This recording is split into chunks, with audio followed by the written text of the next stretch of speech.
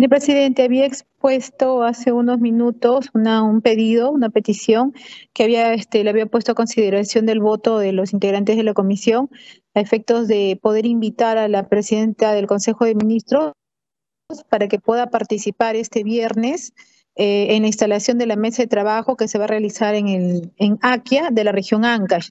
Para nosotros es importante eh, garantizar la, la, presencia de la, de la Premier puesto que la, la población le urge eh, tener, eh, iniciar ya esta mesa de diálogo. Y hasta donde sabemos, pues este, hasta la fecha se han mandado solamente a un equipo técnico y la exigencia de la población para que cese pues estos sus conflictos y todo la, la, el reclamo que ellos están realizando es la presencia de la Premier.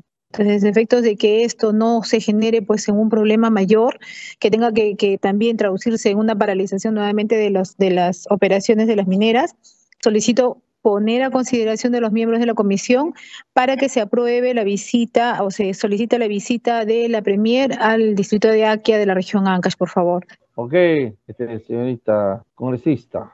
Secretario técnico, por favor, quisiéramos ver el tema de la congresista Camones.